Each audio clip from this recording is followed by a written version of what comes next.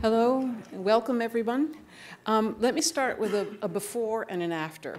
Uh, before the talk, right now actually, uh, please turn off all your devices. And after the talk, please come see Professor Riley's actual work and join us for a reception in the Jaffe Friede Gallery right next door, well, that way, in the um, Hopkins Center uh, Gallery. I'm studio art professor Louise Hamlin.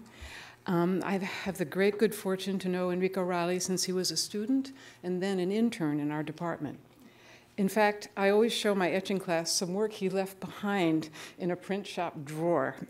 A self portrait drawing made on a folded paper towel, you know, the kind you get right out of the wall dispenser, those brown paper towels. He did an ink drawing self portrait, eh, which he then transformed into a dry point etching on copper. I still have it and show it to every class.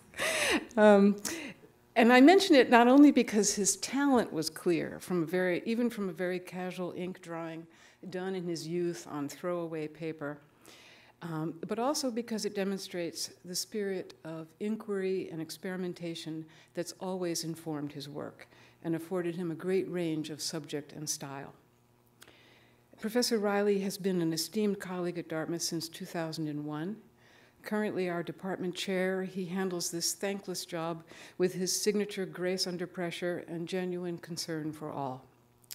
Those of you who've taken classes with him or heard him talk know how attentive he is to the many layers of significance and achievement in art. He addresses art of the past with the same thoughtful insight as that of current students and peers. This has not gone unnoticed, and he has given talks and critiques in dozens of schools across the country. His work has been exhibited in galleries and museums, also all across the country, and been included in several important collections and received a great deal of critical attention. His awards are many, beginning at Yale Graduate School, where he received a Philip Morris Fellowship and Schoellkopf Travel Prize, among subsequent awards are a Purchase Prize from the American Academy of Arts and Letters and a Guggenheim Fellowship. And he has just returned from a year in Italy at the American Academy in Rome as a winner of the prestigious Rome Prize.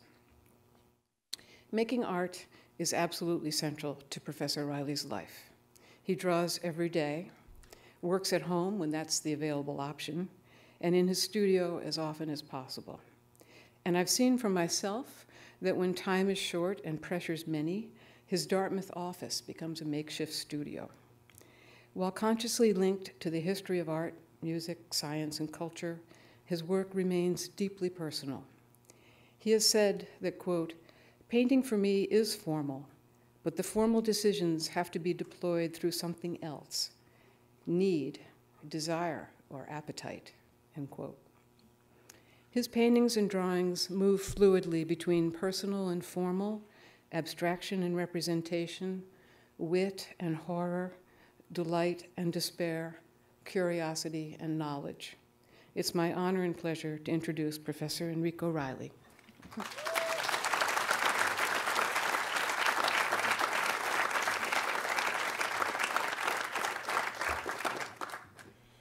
Um, just one second here.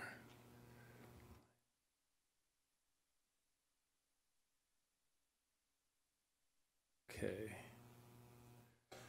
Um, Louise, thanks so much for that really kind and generous introduction. Uh, before we get started, uh, just want to thank Gerald Auten, the director of the exhibition program, uh, my colleagues uh, in the Studio Art exhibition, uh, rather at the Studio Art department here at Dartmouth College, um, the students here at Dartmouth College, um, uh, and friends and family.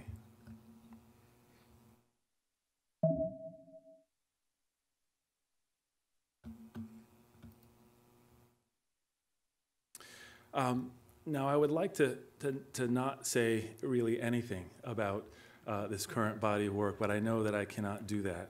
Uh, and I, ha I have to, to say some, some words.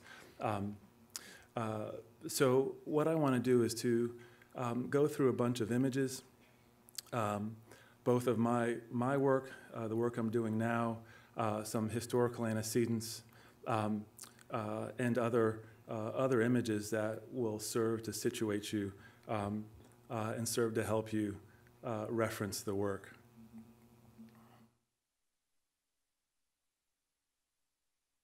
I think there are many things that I'm thinking about uh, and I'm interested with regards to painting um, and drawing and making art in general.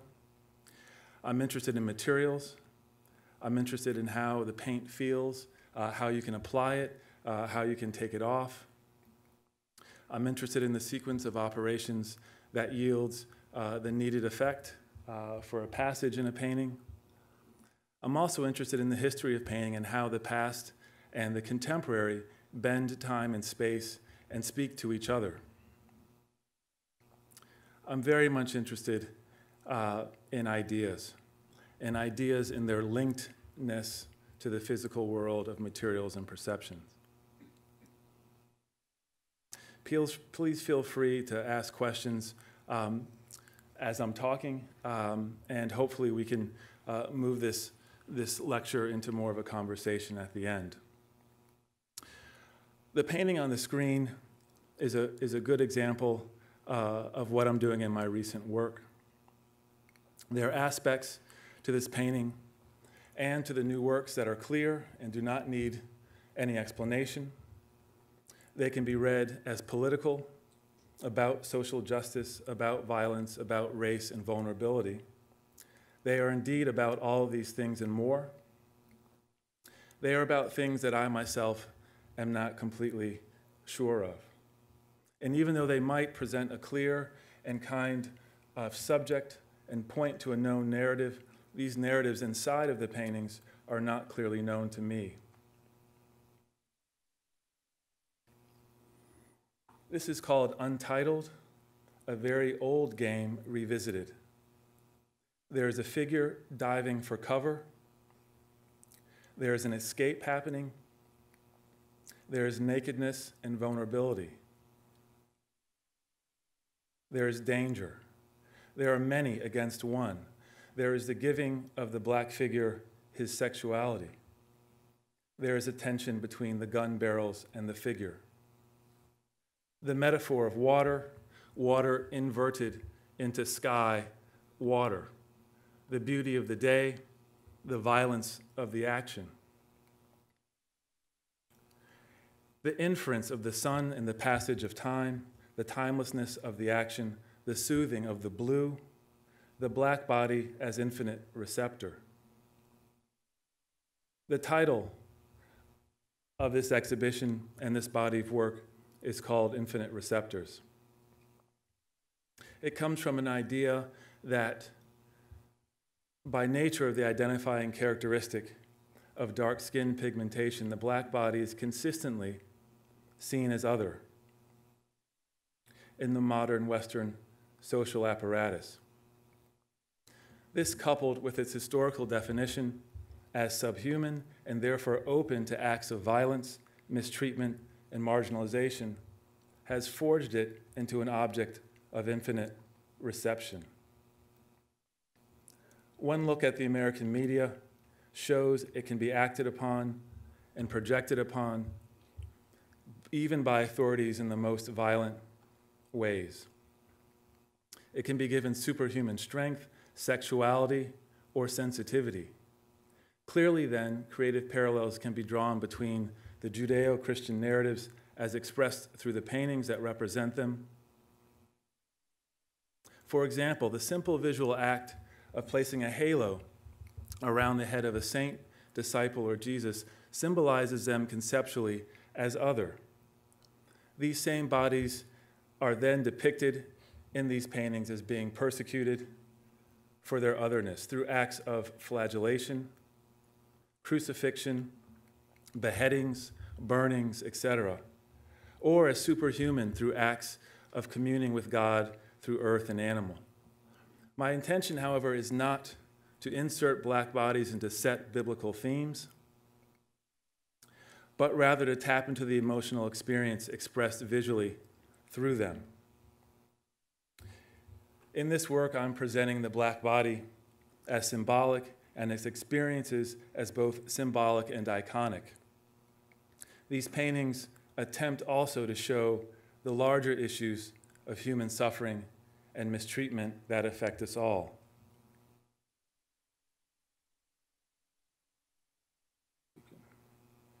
See if we can advance here. Here's an example of a painting that I'm engaged with uh, that, is, that is in the canon of Western art history. Um, it is a painting by the 14th century Italian artist Giotto and is depicting a deposition scene. As you can see, you can see all the symbolic uh, coding of the various figures with that attached uh, halo. In this new work, there not only are historical antecedents that inform them, uh, but also past objects within my own body of work. This painting is called Abstract. He loved her madly, she jumped into the sea. This painting precedes the new work by about seven months.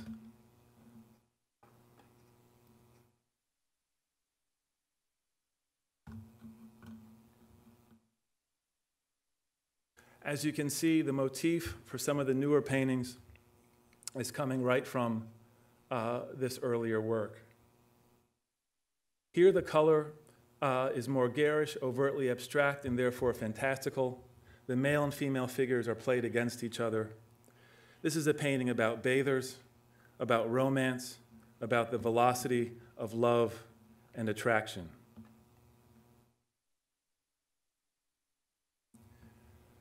It also points back to the tradition of genre paintings about bathers. Here's a painting by Edward Manet that I'm interested in.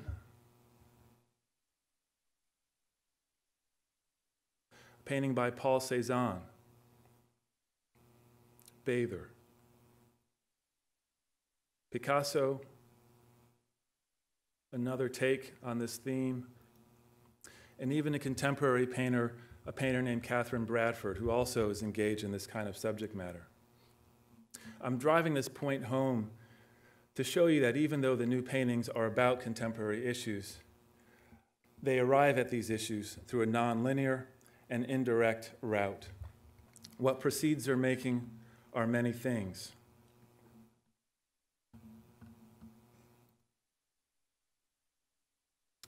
Last year, my wife and two children and I spent 10 months living in Rome, Italy. We had a chance to travel around Italy quite a bit, both north and south. Uh, but this is what we left behind. This is Vermont. This is a little bit north of here. Um, and this is, this is sort of the environment that, uh, that I'm used to seeing.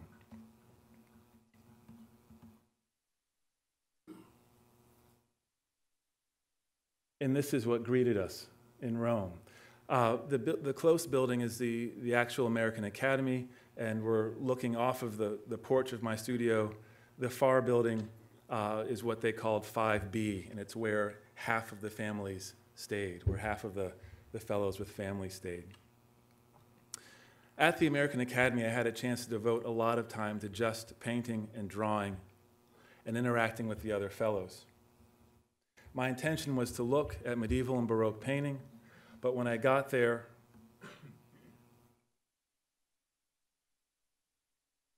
what I found more interesting was the architecture. There's a tradition in the Mediterranean of plastering over the stone and brick substructure with plaster and stucco. And this, this overcoating uh, accepts light in a very interesting way and allowed me to see the architectural forms in Rome very clearly. Living in Rome was also like living in a giant Picasso collage. There are so many different textures and styles, uh, time periods, all competing for attention, and you're living with them all. Here's an everyday example of what you might see in Rome. So the Pantheon is about 800, maybe 800 feet to the left of this view, but you have the remnants of an ancient temple. You have an 8th century basilica, this white building here. I'm not sure of the time frame of this sienna-colored building. Uh, It's either medieval uh, or maybe 17th or 18th century.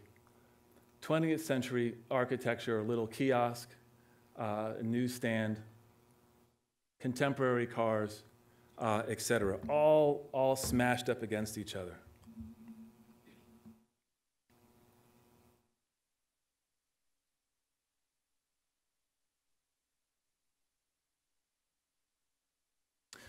This is one of my current paintings. The last slide might uh, give you an idea as to how I'm thinking about structuring these paintings, primarily through interruptions, assertions, and cropping. This is called Untitled Evening Shakedown. A relief from Palazzo Altemps, again, uh, something that I would see almost on a daily, uh, a daily basis. Overlapping forms, shallow space, the play of light over the image, interruptions, and assertions.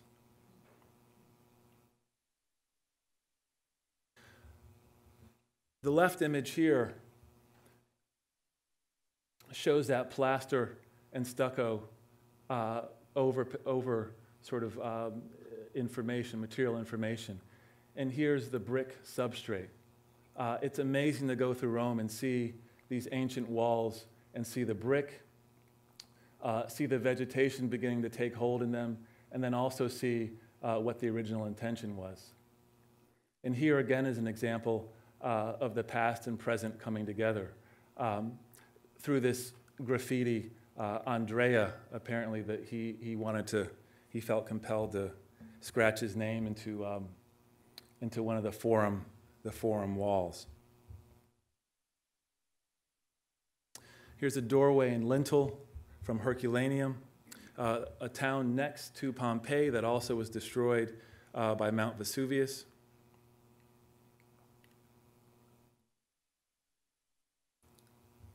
Africans living in Naples. This is in Naples, Italy.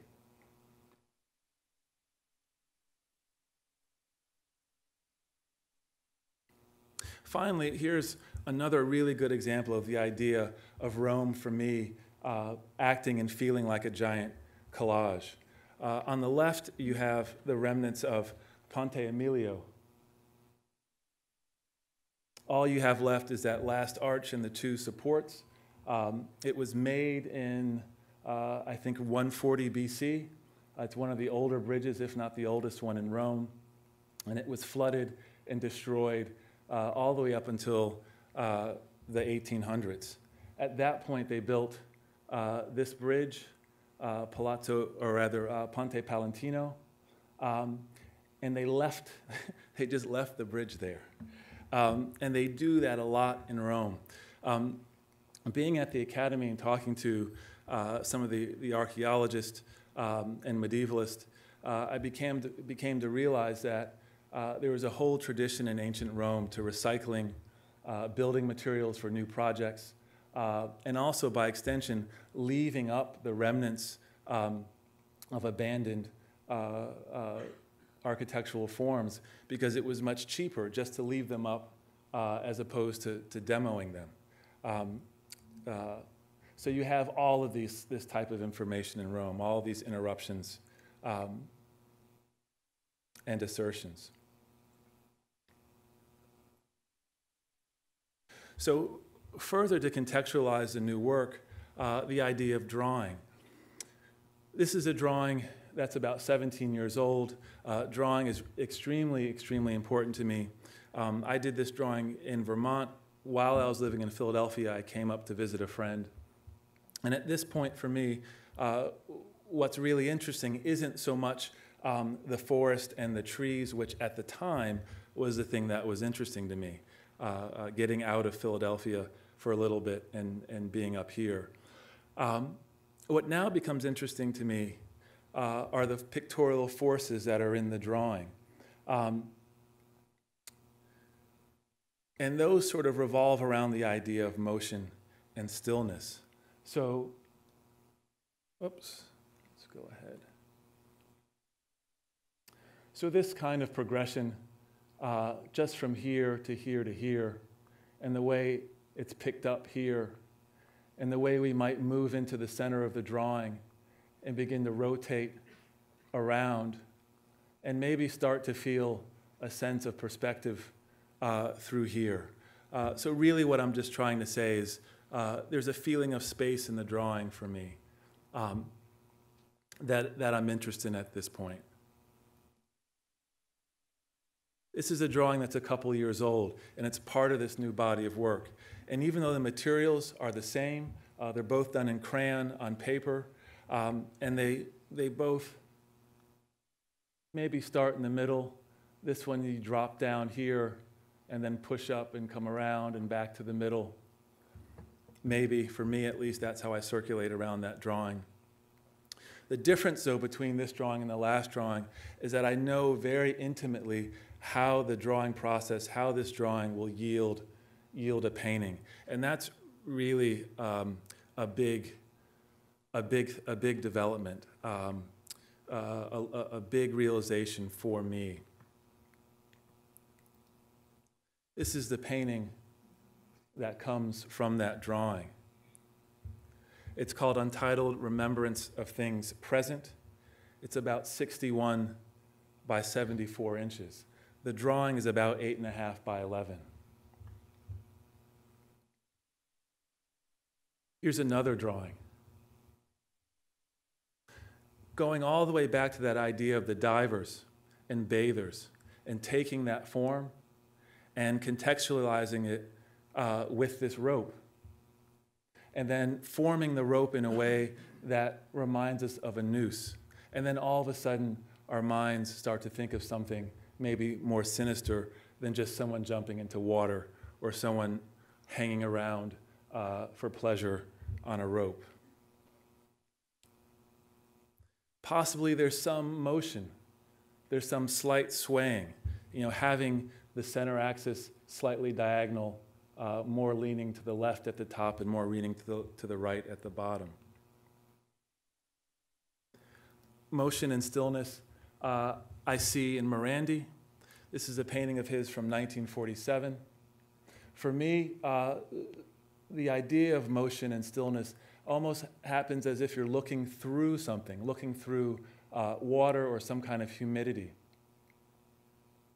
And that's just an amazing, uh, amazing painting that moves around and circulates and doesn't sit still, and also sits very still. A Philip Guston's still life, borrowing from Morandi. The motion and stillness might express itself through a progression from left to right.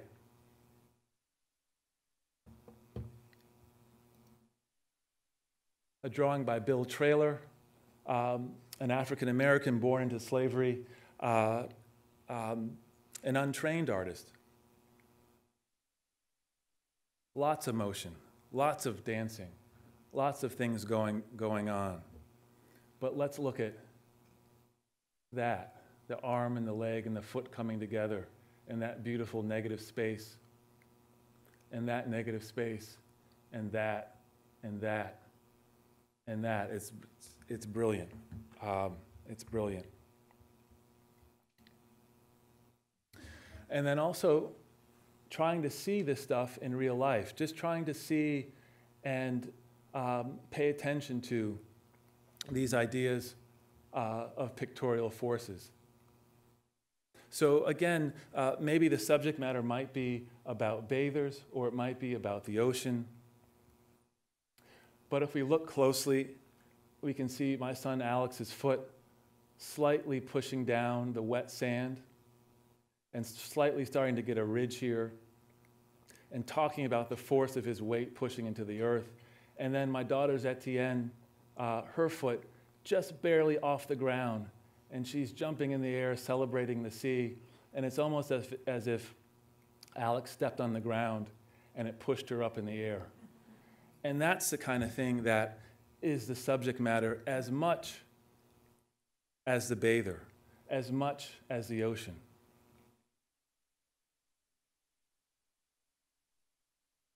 A really amazing, amazing sculpture in the Capitoline Museum in Rome. It's a Greek sculpture uh, from about 300 BC. It's, uh, it's been called Lion Attacking Horse. Originally, uh, it was in its original form. This is not the original form. You can see where uh, it's been restored. It was restored in Rome in the 1500s. The head was knocked off, all four legs were knocked off. Um, for a long time, all that, that uh, existed was the torso of the horse and the lion. I didn't know this was a famous sculpture when I was over in Rome. And then um, I had the great fortune of hearing an artist named Charlie Ray talk about this sculpture. And I was like, oh, I know this sculpture. And I had taken some photos of it. And I knew that there was something uh, very interesting about the sculpture, but I couldn't quite put my finger on it. Charlie talked about it in some other, some other ways. For me, um, it's a great illustration of this transfer of force. The subject matter might be about uh, some emotional turmoil, some, some sort of great action, uh, but the flex in the arm, the slight, slight tautness and pulling of the skin in the marble. And marble and stone doesn't do that. It doesn't pull, it, it, it's inert. And so there's this whole conversation about the force of this animal, relaying that force onto this animal, onto this body. Here's a detail of the paw.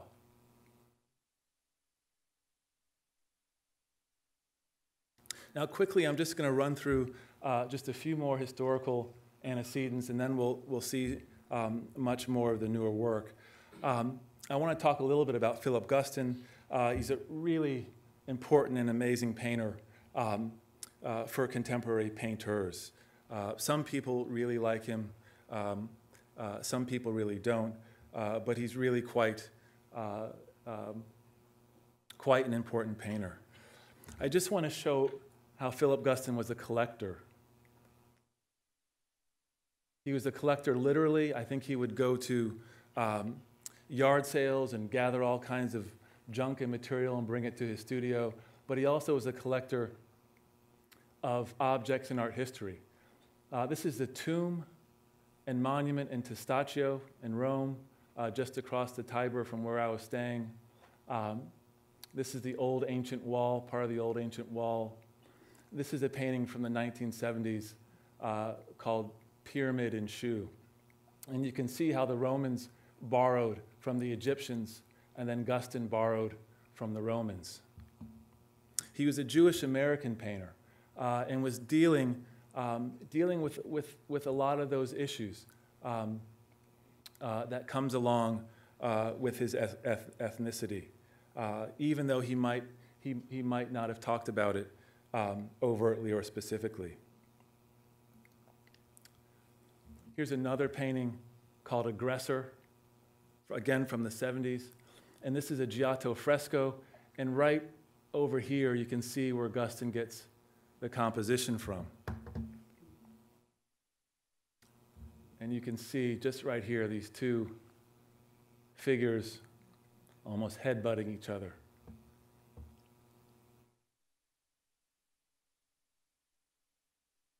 Fra Angelico, he decorated San Marco in Florence uh, San Marco is probably the most beautiful entity, thing in Italy. Uh, it's a medieval cloister, and Fra Angelico was uh, a brother there in that cloister, and um, he also happened to be a great artist.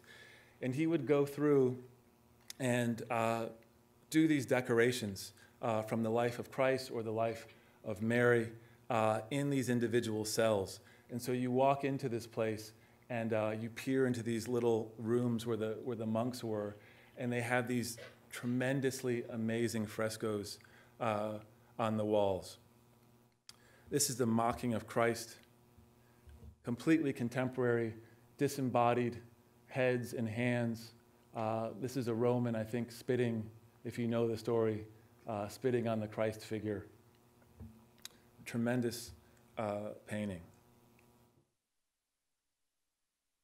Tom and Jerry from the 1940s, um, the roundness of those cartoons, um, the slowness of the cartoons, the idea of humor, the idea of humor and violence linked together. Also, the, the racial undertones of some of these, uh, some of these cartoons. Um, for those of us who are old enough, uh, you remember the Mammy figure. You usually just see, you just see her feet usually uh, at the bottom uh, uh, in some of these cartoons. Most of that stuff has been edited out now. So a lot, a lot of us, if you're a little bit younger, you probably don't see them uh, anymore in the cartoons, but uh, you can certainly find them online. This is a new painting called Untitled Flagellation, False Confession.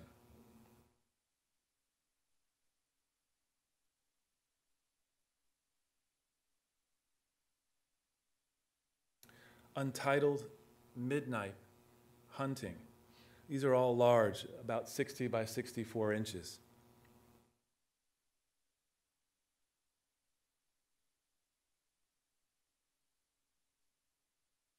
Untitled Resting. Two, there's a resting one.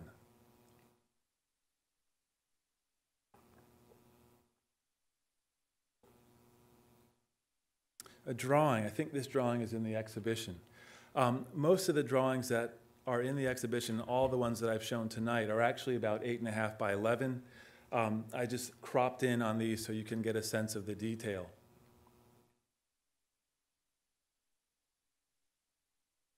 All the drawings are untitled. I do them mostly at night, uh, in bed before I go to sleep. Uh, sometimes I get one done, sometimes I get three or four or five.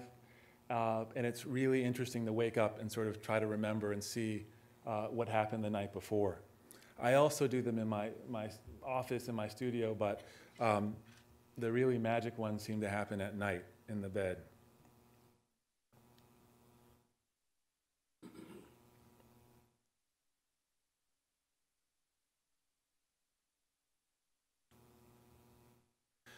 The drawings all precede the paintings.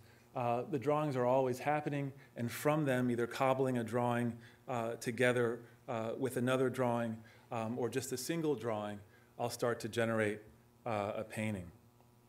This is called remembrance of things past.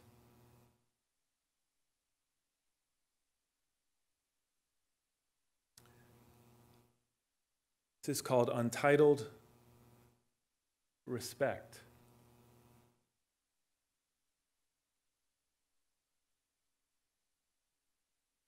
And just ex an example of a drawing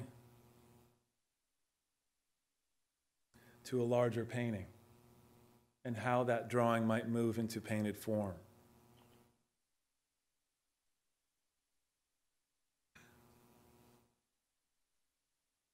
This is called Evening Together We Can Do Anything. It's about 40, 50 inches by 70 inches. I stumbled upon this body of work in 2014 when a lot of police videos were being shared around the country. And to be really honest, it just got under my skin. It, be it began to bother me, and I began to ask sort of how and why. Um, and I began to think about that subject matter more than my previous subject matter, and so I knew that it was time to paint. I knew it was time to paint about it. Um, and the drawings came, came first, about six months earlier, uh, and then I began to figure out how to make them into paintings. In Rome, uh, one unexpected, uh, interesting thing that happened was I formed a collaboration with the composer Jonathan Berger. Uh, we started to put images of my drawings together um, with, with music, with his compositions. We worked on about three projects together. One is, is about to happen now. Um, this is just a still shot of one of our projections that's on the facade of the American Academy. That's about 50 feet tall by about 75 feet wide.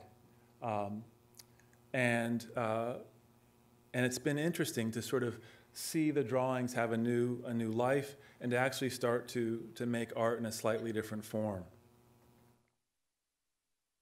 I'm just going to play you just a little bit, uh, maybe five minutes of our first project together.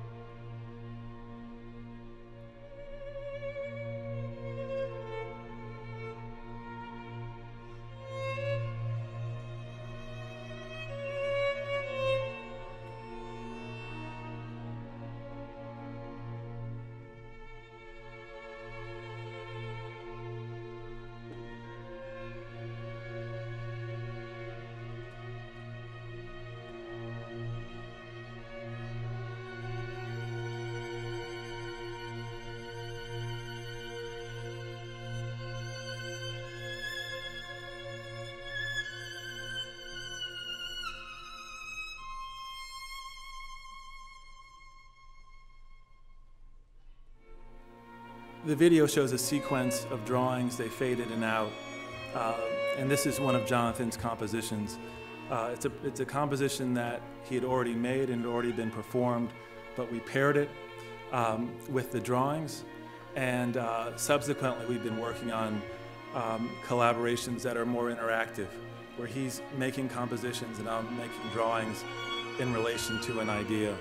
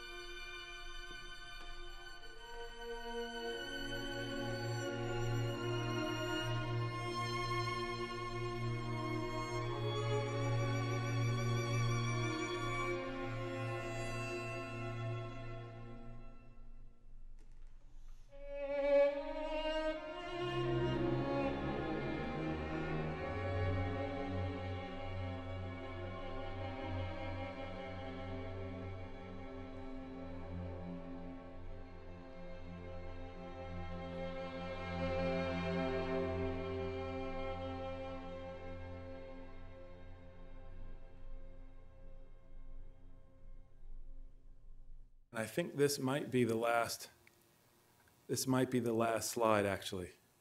So this might be a good, a good place to end. Um, I'd love to have any questions, and uh, thank you all for coming. Uh, Thanks very much for your time.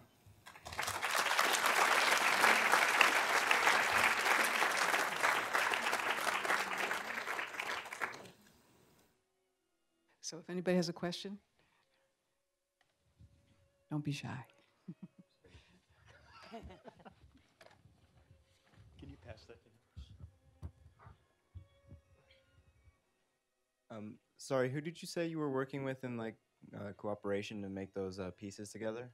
Um, A composer, his name is Jonathan Berger. Okay. Uh, He teaches out at Stanford University. Um, He's a little older than, than me. Uh, Yeah. Okay. So when you two make those um, like pieces and then put them together, is it more like um, you make something and he makes something in response, or vice versa, or? Um, So you're talking about the collaborative pieces with sound? Um, So the first piece we did, um, uh, we sequenced a bunch of drawings. And, uh, and he had, again, he had a pre-existing um, composition that was already performed. uh, And we put them together. And they sort of uh, wound up being like these very crude animations in a way, um, very slow uh, animations.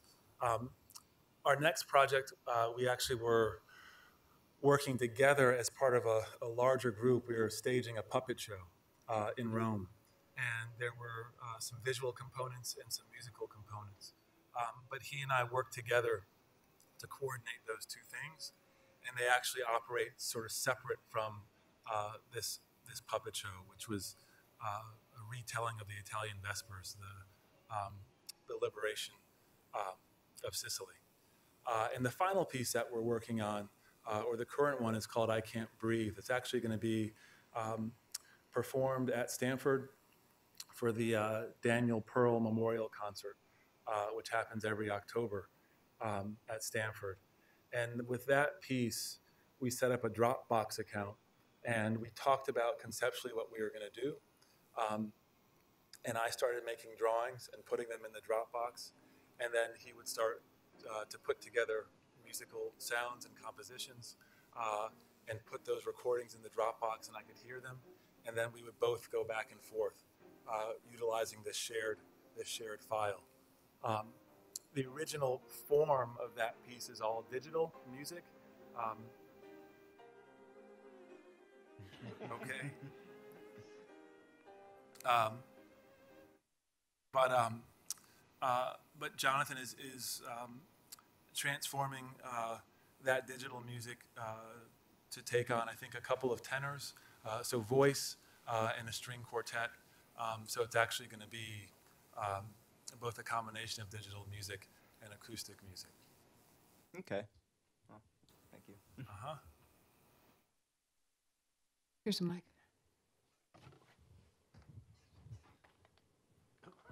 Hi, Hey. how are you doing? Would you um, speak a little bit, would you mind speaking a little bit about the, um, uh, on the shield in the last painting, the, Yeah. the figure that also appears uh, elsewhere? And, and also, um, if you would, a little on the, about the wall, which we see in that, um, the old painting that you showed early uh, of uh, Christ, and you know, I'm talking about the wall in in your paintings, and I sort of I saw that. I see. Okay. Yeah. Um, so I don't even. Let's see if I can. I'm afraid to try to even uh, go into this, um, but I, I think I know what you're talking about. Um, the uh, the emblem on that shield um, is a reference to um, the three clubs, sort of three clubs that you also saw um, uh, in an earlier painting of, a, of a, a person sort of with their head in their hands. And you saw that, that same configuration behind that figure. Um, uh, I transferred it to put on, to signify um, who, who the left side of the painting was representing. Um, that painting was done last spring, uh, or just this past spring, before um, any of the recent events that have happened recently uh, um, here. Uh, that painting was done in Italy. Um, it's a, it has a reference to medieval painting. There, and a, a lot of times there are situations where you'll you'll have um, swords or spears or clubs that are all sort of uh, crisscrossing against each other. You also find that in Philip Guston paintings. He'll transfer that to um, the handles of, of paint brushes and paint cans, but he'll set them up the same way. For me, I'm using it to show um, violence, and I'm sort of branding, putting a brand, a symbol on that shield, um, a generalized idea of violence. Um, there's a gun barrel also on that left side of that painting. Um, for me, the, the wall, um, I think of them more as, as like fences, like wooden fences. Um, uh, and to be honest, it's more of a formal device. It's a way to sort of crop out and a way to, to organize the picture plane. Um, uh, it also, um, sort of after the fact, I began to think about it with regards to theater um, and the idea of theater um, and the idea of a stage and a backdrop. Um, so I, I sort of think about it in that way. Is that oh, okay? There's a few more Want the questions. Um, I was wondering, in your time at Rome, surrounded by all the other fellows there, how that influenced your work. Uh, I'm still figuring that out. Um, so you, you go there as an artist, and there are four artists, and then there's like, I mean, you, Taria, you know, um, and then there are maybe 30 other academics, uh, art historians, uh, archaeologists, medievalists, um, architects. Um, I was really the only painter there. Uh, there were two other sculptors and then a video artist. Um, but we, we all had amazing conversations um, about Rome specifically, or about the Mediterranean, or um, conceptually what Rome sort of meant, or just trying to figure out uh, as a group what, what this place was. Because uh, some, some of the people there had been there before, and the research uh, is in Rome or in Italy, but many of us uh, had not spent, uh, uh, spent a long amount of time there. Um, so you get there, and it's like, uh, it's really disorienting um, to the point of where I actually had to not go out into the city for like the first six weeks so that I could actually get work done and establish uh, a rhythm in the studio because there is just so much to see there um, and so much to do, uh, and it's just so visually overwhelming. So, all of the fellows, I think we are all vibing on that, and uh, and uh, you know their ideas and their observations um, were things that, oops, that uh, that influenced me. Any other questions?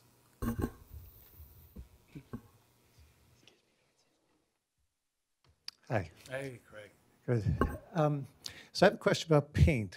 Yes. And um, I think what's interesting in these is they're so content heavy that we Yes. are going to tend to go to them thinking about content. We're going to respond to them in that way. Yes. But the way they're made is through paint and through your thinking process is, is coming about through paint. Right. So could you talk something about the, the, the, the, the thinking process of, of painting? Yeah, I, I mean, it's a great question. So, um, you know, I was trying to talk about maybe in a more generalized way about pictorial forces and the sort of formal information um, that, uh, as an artist, you, you train yourself to, to, to notice, and it allows you to travel through time and look at different kinds of art and glean information from it. Um, these paintings are um, extremely formal.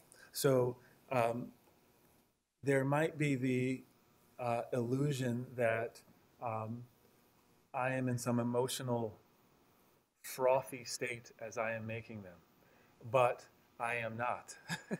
I am thinking about formal issues color, light, form, uh, uh, materiality, surfaces, um, superimposition, putting one object in front of another to make space, uh, really trying to make space in the most efficient, um, clearest way possible, in a way. Uh, and then there's just the sort of tactile relationship with, with material, with putting paint down. Um, so they are extremely content heavy.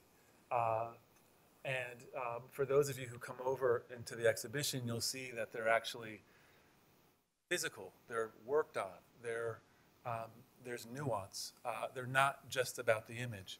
Uh, and I think that's a way, um, uh, you know, to have them maybe last a little while and to have them not just be about um, the sort of overt context, um, the, the, the, the uh, content. The content wants to be fused with the formal interaction that we as painters or artists have with the materials. Uh, and for the students, that's why we're like telling you to like draw these line drawings and sculpt this and do that, is so you gain a relationship so that you can be free and you can, you know, try to put down um, what you're thinking about, but also have it come through a language and embed yourself in a tradition. Yes.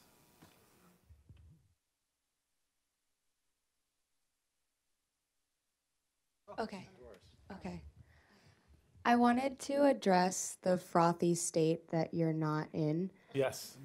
Uh, whenever I take a class with you or I engage with your work, I feel as though I'm experiencing everything beautiful and everything awful at all at the same time, Yeah. which is why I love taking your classes because I feel as though all the thoughts that I think at the same time you are also dealing with. Yep. And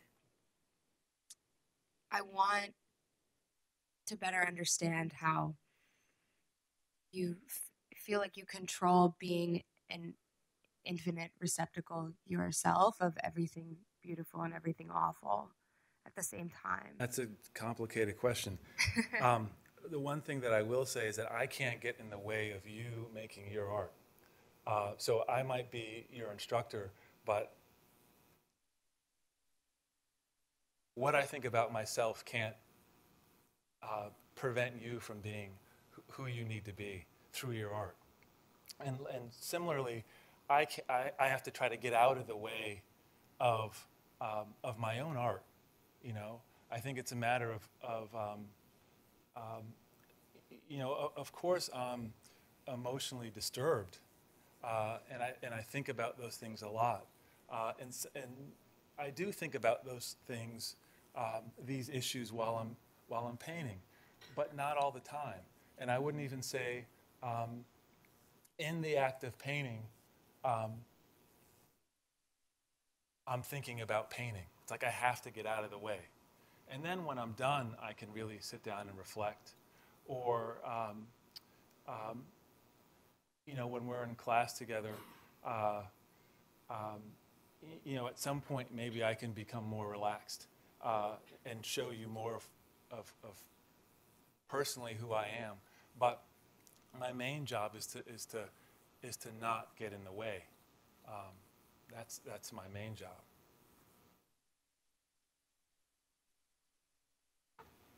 Well, this is going to sound so simplistic, but I'll do it anyway.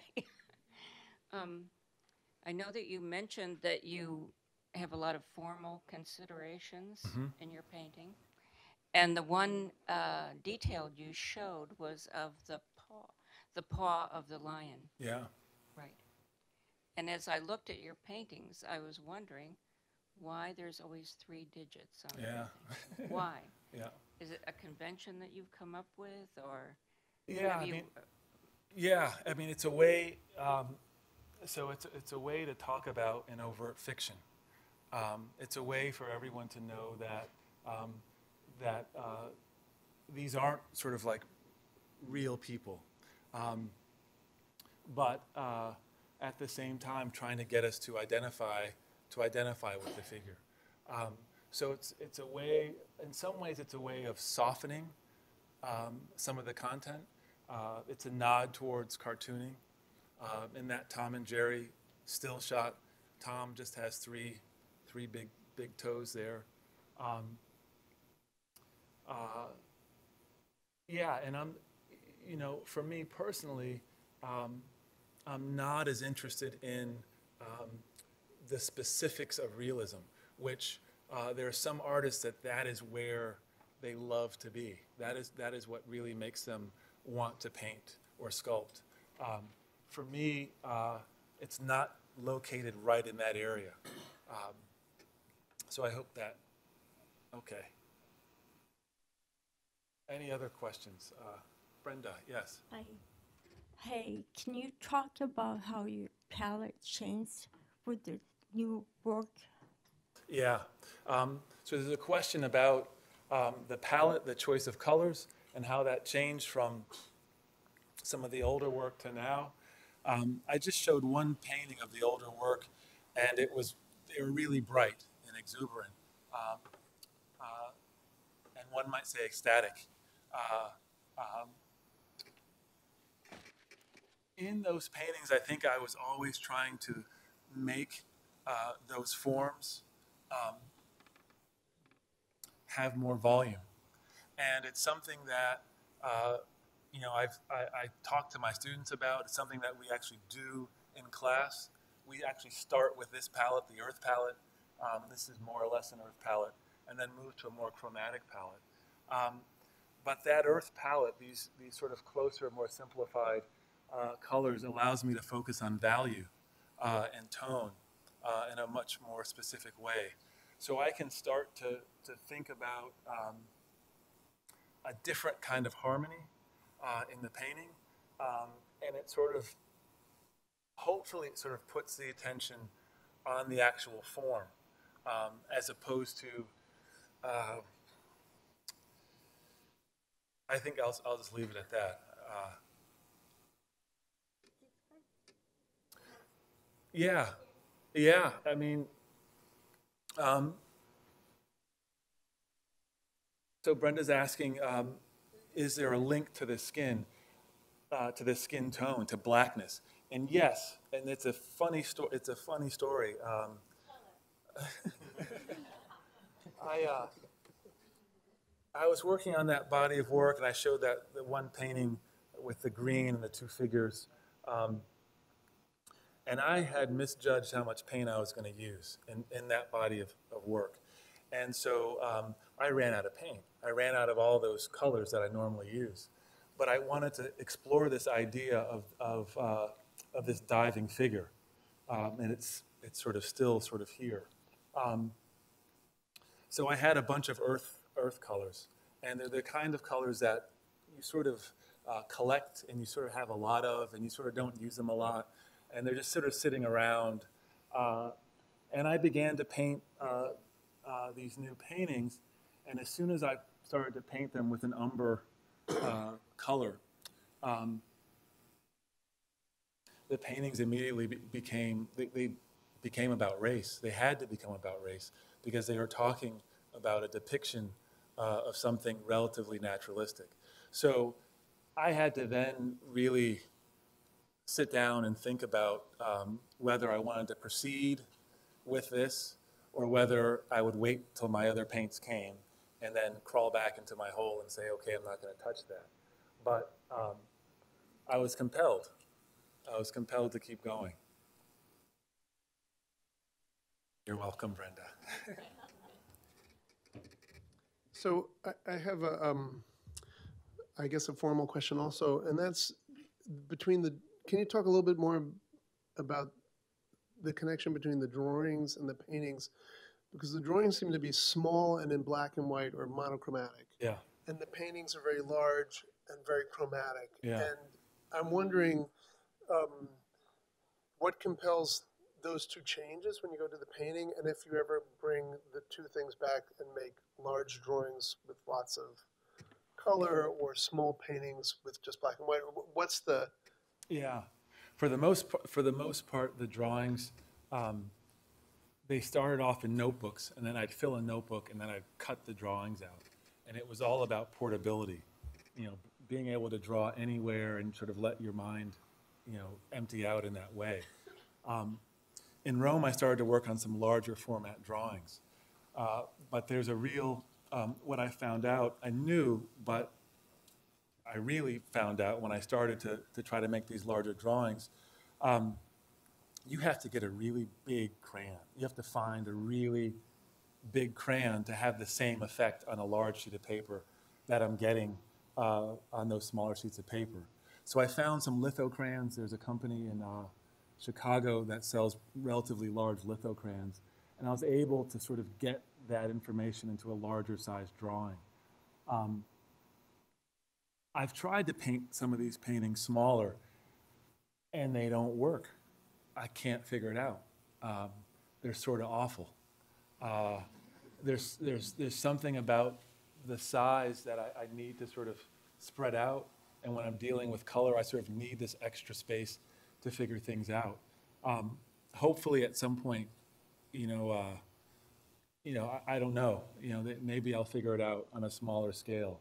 Um, I think the thing that holds me back is that I don't want these paintings are made in a way where the paint is relatively thin, and um, they're consciously not talking too much about painterliness, um, and uh, and um, and I think the only way, or the way that I can think about making them small is if I painted them wet into wet, and painted them like drawings, um, and I, am just resisting doing that.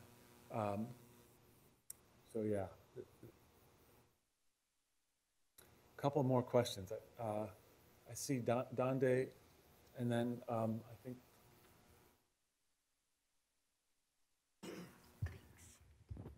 Um, my question is just who would you say your work is for?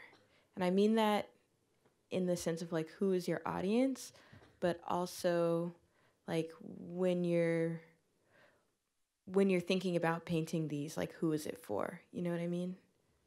Hmm. Um, you know, in some ways, it's really important that these new paintings be legible by by anyone. Like you don't need a degree in painting to read them. If you know something about painting, you'll pick up on the references, um, the historical references.